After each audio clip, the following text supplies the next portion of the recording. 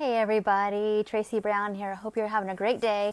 I know it's a little bit later than usual, but I appreciate all everyone who wants to watch and follow along with these, and of course, um, pass them along to their friends. It's I really appreciate it. So, I know I haven't been live this week because I had some of my favorite little little people in town with their mom, my sister, and we had a super fun but action packed week. Like literally. Um, I don't think I slept all that much this week in a, in a good way. Uh, we had a lot of fun.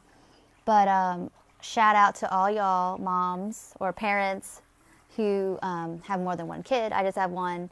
And having two that are really close in age or the same exact age is is a lot. So um, yeah, I salute you. Um, so and add three at the mix who all really love each other but don't see each other often, and you've got like nonstop action and giggling, and then fighting and crying, and then giggling and playing again. So that's what I've been doing, which made me think about having to come back into my life, my day to day, with you all. And I remember how hard it was to transition from, like, let's say, vacation or um, either going to vacation, eating on vacation, coming back from vacation, um, changing jobs, different seasons, different semesters, and how important it is to recognize unless we have a plan, um, or even if you're just changing your shift, like I say at work, or um, it's going from, let's say, even if it's not you that's changing too much, but it's your kid that's going from like school to summer and their schedule's different. So that means your schedule's different. Whatever your situation is, or you get promoted, or whatever's going on, is that there will be a change. And even small changes that are positive can be something that's enough to get people's old diet stuff kind of revved up, thinking our systems start to think that a change might not be safe or it might be threatening. And it gets that old eating stuff kind of revved up sometimes. So it's something to kind of be looking out for that I thought I would talk about today. And that's what this video is about. But also, um, even good change can be enough towards a change, and that's not easy for people. So this little video is to be have you thinking about since it is we're, we're making this video at spring, but this could easily be summer, the beginning of next fall, school, whatever.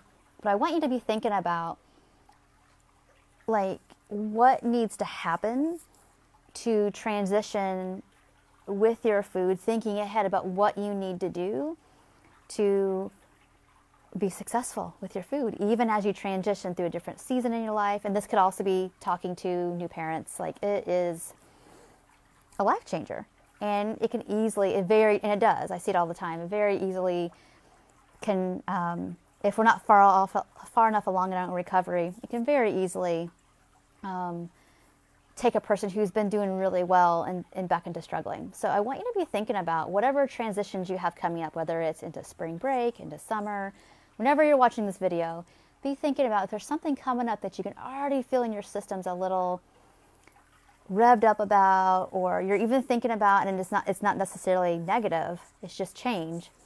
Be thinking about what do i need to do to at least stay where i'm at or even keep progressing with my food right now with this change happening. So you might need to look at your schedule. How likely it is that whenever you have more responsibility or a change do you keep up with getting groceries or um, having some meals ahead or, or, even getting more takeout to have available? Um, for if that's if having food available is like um, a place where things kind of get difficult for you, or maybe it's so many of you I know, and me too, get really busy and don't think like about getting your needs met, and everybody else gets met. And so it's to be really important if you're taking care of other people's needs, um, either out of this is how you function to feel safe, or it's legit like you need to like you know make sure you pack extra food for your kids because you're going to be gone more or whatever the, the issue is, that you do that for yourself as well. And you include yourself in the mix of all the care that needs to happen. Let's see here. Um, also, I mean, think about people who, um, even if you get a new job, if you know if you don't know what to expect, let's say in the first week of your new job, super important to like, I need to bring extra food with me because I don't know if I go out to eat. What's the thing here? Do we take even though they say I get an hour for lunch, does that mean I have to eat at my desk? Or how, do, how does the culture work here and how am I going to fit? And those are all the thoughts that are actually happening under the surface, but a lot of times we make it about like the food. Well, we just need to be prepared with the food we need, and you can the other stuff will will be learned. It will be okay. But of course, our, our we could get nervous. We can get revved up about things, and because we don't know what to expect, we sometimes take it out on the food, either under or you know eating as like a grounder or a buffer or whatever it is. So. Um, because this is Fridays, I'm definitely going to be on here a little bit longer than usual just to answer any questions. It could be related to this topic or something else. Um, but I know that I'm certainly feeling refreshed from a little bit of time um, to have my brain not in total action mode. Um, but also super happy to be back, and I always love meeting with you all doing this. So if anybody has any questions, please feel free to put them in comments below. I'll be answering them as I talk a little bit.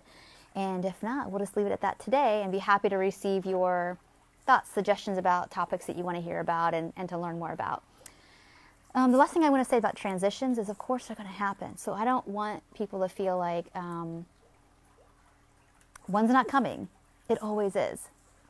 Whether, I mean, we just had daylight savings time here in the northern hemisphere. I'm assuming not everybody, I don't know, everybody does that, but um, we did. And, you know, that first week is, is a little rougher trying to get going when it's dark, you know, and that can make us kind of, for me, least a little procrastinating.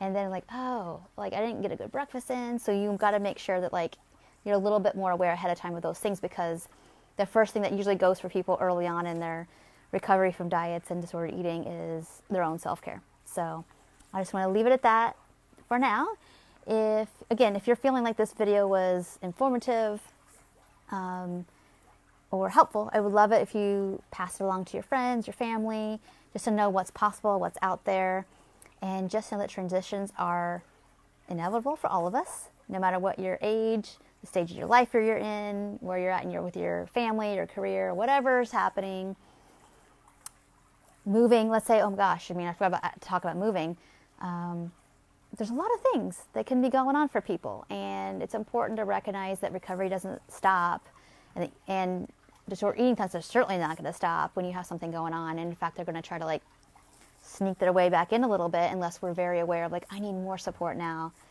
not less. So thank you all so much for watching, and actually I'm going to put a link below to my free gifts page on my website because there's several.